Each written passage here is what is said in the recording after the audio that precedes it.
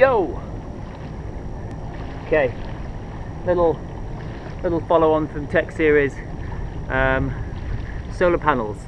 So we rely on these puppies um, a lot because we have on the boat we purely have um, a big bank of car batteries, 12 volts, four of them um, in parallel, so they basically act as one single big 12 volt battery, and everything runs off that, and we don't have 240 volt. So these are pretty much bog standard panels. Got these off eBay for 60 quid, 60 quid, 60 quid. This one was more expensive, but they're the same. Um, and you got 120 watt here, 120 watts, 120 watts. So that's to get your wattage, 12 volts times the amount of amps they kick out is how powerful they are. You'll never actually get 120 watt, but you know, close, close to that.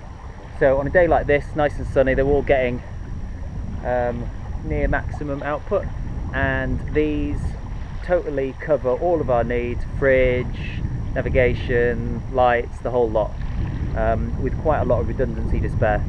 So by 10 a.m. we're pretty much topped up with everything. Um, and yeah, so for the last two weeks we've been totally selfish, self-sufficient on these. And I will go down and then I will show you how we rig them up. Okay, so you can see the panels up there. We mount them super high, so there's nothing shading them because solar panels are really finicky. If they get a bit of shade on them, then they suddenly don't do so well. You only need like a strip of the mast shading it, and then the whole output goes down.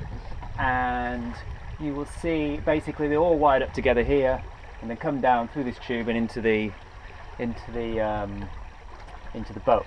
Now, the problem that you've got is that if you wire all these things in parallel, so like one panel, bolt on another panel, bolt on another panel, the amps basically go up and up. The voltage stays the same because it's 12 volts, and the amps go up and up, which means that you have to get thicker and thicker wire the more panels you have.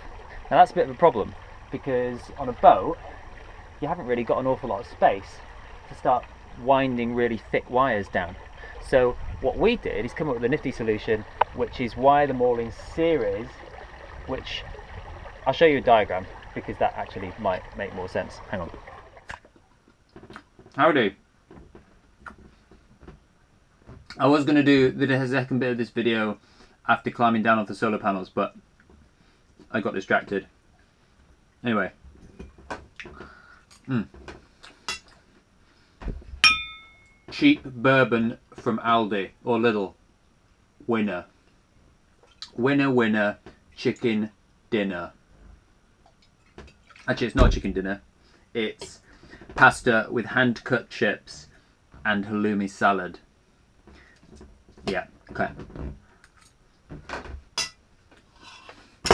Anyway, so we said the problem with solar panels on a boat is that the cables, the more panels you introduce, the cables have to be thicker and thicker. And that's the amps going down. So the more panels you get, the more amps you have, and the thicker the cable has to be. Otherwise, they get hot and burn and, and so on because you're introducing more power. Um, and the problem with boats is that you haven't really got space to start threading big fat wires through everything. So here is the what we did. Normally you would have solar panel one. Solar panel one. Solar panel two. Solar panel three. And your battery at the bottom. So there's our battery, our 12 volt car battery and you would go positive solar panel, negative solar panel, positive, positive, negative, negative. That's the traditional way of doing it. This is where how you'd wire your lights at home and stuff like that. So that's called parallel. And what basically happens is you get X amount of power going starting here. By the time you get to the bottom, these wires are really thick. And we have to wind these wires all the way to the battery. Now, what we did was solar panel 1, solar panel 2, solar panel 3. And Mr. Battery, 12 volt. And we go positive, in, and then we go out, in, out, in, out, and then all the way back. And that's what we call series. So we put them in series.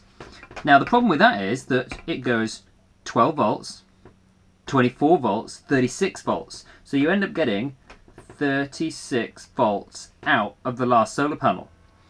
But the amps stay low, so there's no need for all this thick wire. So all this wire can be nice and thin all the way back to the battery. But the voltage is really high, and you can't have 36 volt going into a 12 volt battery. So what we do is we have a little special box here that takes high voltage, converts it back to 12 volts, high power here. So only this wire needs to be really thick.